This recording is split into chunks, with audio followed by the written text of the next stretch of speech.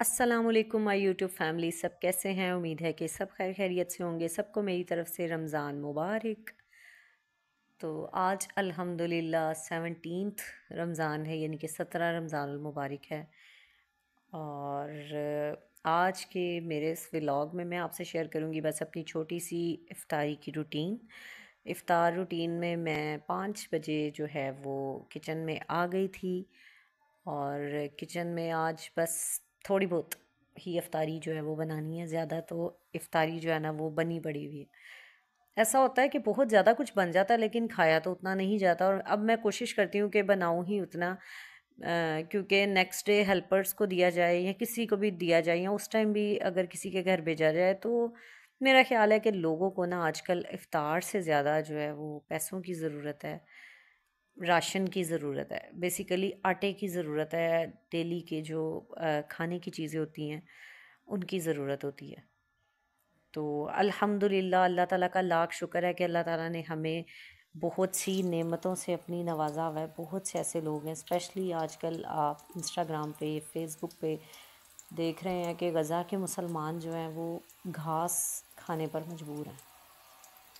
तो बस अल्लाह ताला सबको अपने अपने घर में ज़्यादा दे और ढेर सारी अल्लाह ताला खुशियों से नवाजे। तो यहाँ पर बस मैंने आ, समोसे जो हैं वो बना के रखे हुए थे रमदान प्री प्रे, आ, जो प्रेपरेशन होती हैं उसी में।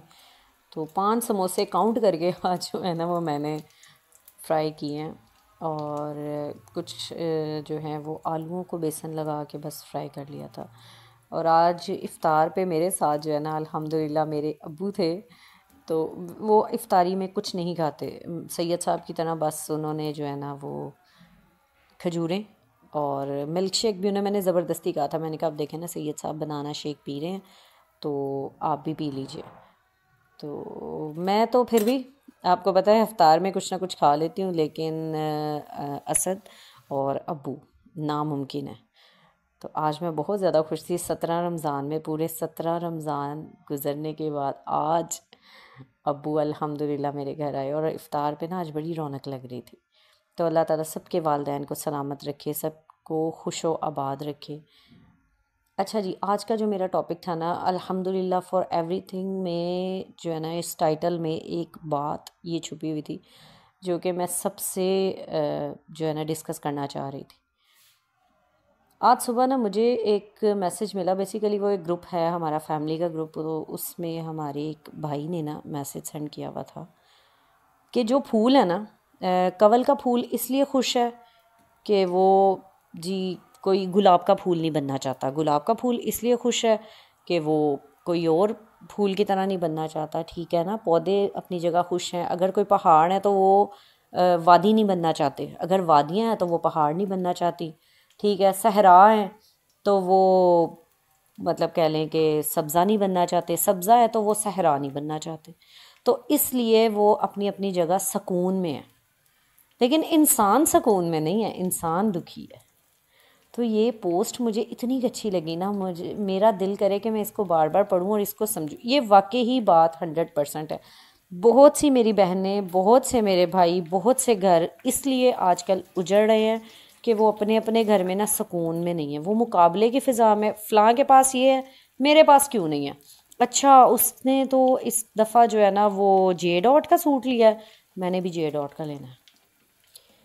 ख्वा, खावन की कमाई इतनी ना हो, वालिद की कमाई इतनी ना हो, भाई की कमाई इतनी ना हो, लेकिन पहनना जे डॉट ही है। उसके पास ये डॉट था, मैंने भी यही लेना है। और बहुत सी ख़वातीन जो हैं अपने घरों में, अपने खावन को, अपने वालिद को, अपने भाई को बहुत मजबूर कर देती हैं।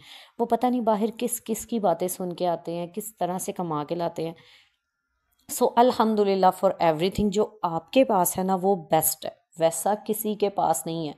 मेरी बहुत सी बहनें, मेरे बहुत से व्यूअर्स जो मुझे सुन रहे हैं, जो मुझे देख रहे हैं जो मेरे रिलेटिव्स हैं, उनको पता होगा कि मैं हमेशा एक बात कहती होती हूँ कि मेरी ज़िंदगी बेस्ट है। मेरी ज़िंदगी में जो मेरे पास है ना, वो किसी के पास नहीं, वो किसी मेरी कज़न के पास नहीं है, वो किसी मेरी नंद के पास नहीं है, मेरी भाभी के पास नहीं है, ठीक है ना? मेरी फुफ्फो के पास नहीं है, मेरी खालाओं के पास नहीं, जो मेरे पास है ना, वो किसी के पास नहीं है भाई। इसलिए अल्हम्दुलिल्लाह मेरे घर में सुकून भी है और मेरे घर में बरकत भी है। मैं नहीं कहती कि मैं बहुत अच्छे घर में रह रही हूँ। अल्हम्दुलिल्लाह जिस घर में मैं रह रही हूँ ना, यकीन करें कि वो मुझे जन्नत से भी बढ़ के लगता है।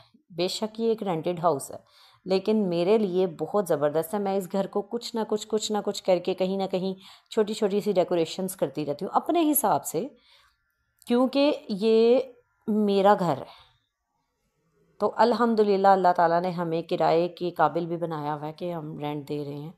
और यहाँ पे रह रही जिनका घर है, वो मेरी जो लैंड लॉर्ड हैं, वो अक्सर मुझे सुनती हैं।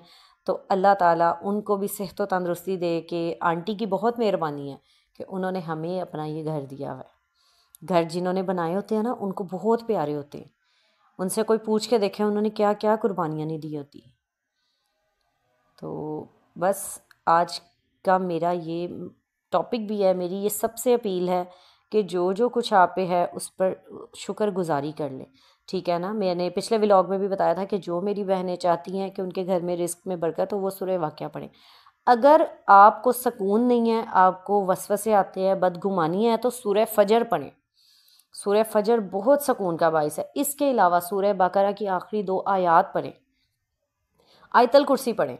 ठीक है? अगर आपको, इससे ज़्यादा अगर कुछ डर है, वसवस है, अपनी लाइफ में सुकून नहीं है, अपनो, जहनी सुकून नहीं, चाहती भी हैं कि भाई घर में अमन अमान कायम रखें, लेकिन होता नहीं है तो आखिरी तीन जो सूरतें हैं ना, वो पढ़ें। सूर्य फलक सूर्य नास और सूर्य अखलास ये बहुत ज़्यादा ज़रूरी है। अल्लाह ताला हम सबको सकून दे, रहमत दे, बरकत दे। ये रहमतों का महीना है इस रहमतों के महीने में रहमतों को समेट लें, इबादत की तरफ़ ध्यान दें और इबादत के साथ साथ अपने अखलाक भी बेस्ट रखें, दिल आज़ारियाँ ना करें।